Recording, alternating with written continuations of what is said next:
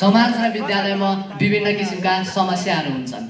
ती समस्याको समाधान गर्ने उपाय पनि हुन्छन्।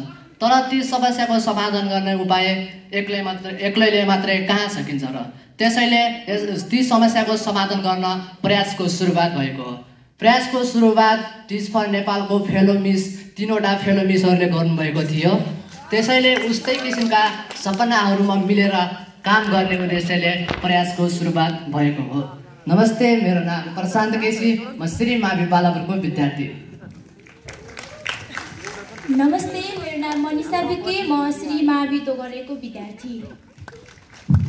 नमस्ते मेरो नाम बालिकाले म श्री मावि दोगरेको विद्यार्थी। नमस्ते मेरो नाम करुणा परियार म श्री अम्बेश्वरी मावि दाङको विद्यार्थी। नमस्ते मेरो नाम विमला बुढा मगर म श्री मावि बालापुरको विद्यार्थी।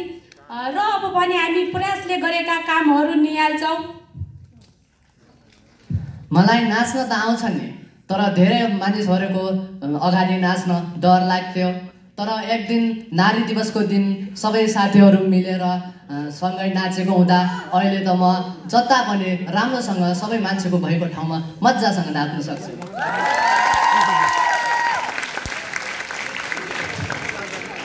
समलिङ्गी विवाह गर्न हुन्छ। बाबाहरूले पनि घरको काम गर्नुपर्छ। अनि भात पकाउने लुगा धुने भाँडा माझ्ने केटी मान्छेहरूले मात्र होइन। सबैले जान्नुपर्छ नि। तर यो सबै कुरा जेन्डर जेन्डर आइडेन्टिटी र जेन्डर रोल भन्ने कुरा बुझेपछि मात्र थाहा भयो मलाई।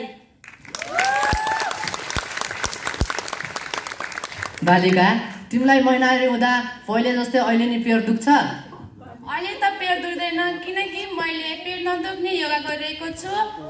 पहिला जस्तो अहिले महिनावारी हुँदा मलाई पहिला पहिला जस्तै अहिले मलाई स्कुल छुटाउनु पर्दैन। महिनावारी हुँदा मलाई के गर्नुपर्छ मलाई थाहा छ। ए साँच्ची प्रसाद तिमीले बहिनीलाई प्याट बनाउन सिकायौ त। अँ मैले बहिनीहरूलाई मात्र कहाँ हो र? आफ्नो घरको वरिपरिको छिमेकीहरूलाई पनि प्याट बनाउन सिकाइदिएँ नि पहिले मेरो फेसबुकमा हजारभन्दा बढी साथीहरू थियो। एक दिन फेसबुकमा बोलेको साथीले भन्यो तेरो अश्लील फोटो पठा नत्र म तेरो आइडी ह्याक गरेर तेरो बेजेत गरिदिन्छु भनेर धम्की दियो। त्यस घटनापछि इन्टरनेटबारे कसरी सुरक्षित अनि सचेत हुन सकिन्छ भन्ने बारेमा हामीलाई हाम्रो मिसले सिकाउनु भयो अहिले त मलाई फेसबुकको प्रयोग कसरी गर्ने फेसबुकमा कसलाई साथी बनाउने कसलाई नबनाउने भन्ने बारेमा पनि थाहा छ। त्यति मात्रै कहाँ हो र अहिले त मेरो फेसबुकको पासवर्ड नै स्ट्रङ छ। मैले त प्लास्टिक मास्क पुरानो कपडाहरूबाट चाहिने सामान अनि सजाउने सामान बनाउन सिकेको छु नि। यस्तो गर्दा घर पनि सजिने अनि वातावरण पनि सफा हुने। त्यति मात्र हो र म त प्लास्टिक जाँदा आफूले पुरानो कपडाहरूबाट बनाएको झोला नै लिएर जान्छु नि। यदि कुनै टाइममा प्लास्टिकहरूको प्रयोग गर्नु नै पर्यो भने पनि प्लास्टिकहरूको प्रयोग गर्नु पर्यो भने फेरि त्यसलाई रिसाइकलको लागि राखिरहेको हुन्छु नि। हाम्रो प्रयास अनुसार हामीले एउटा छोटो मिठो गीत यहाँहरूको माझ प्रस्तुत गर्दैछौँ।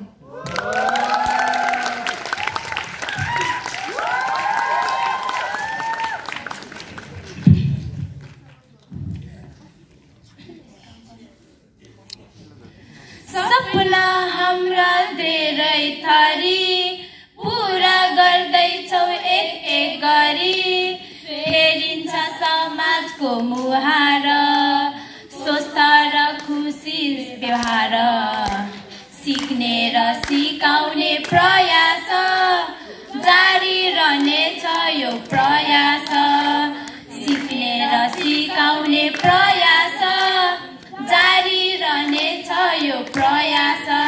धन्यवाद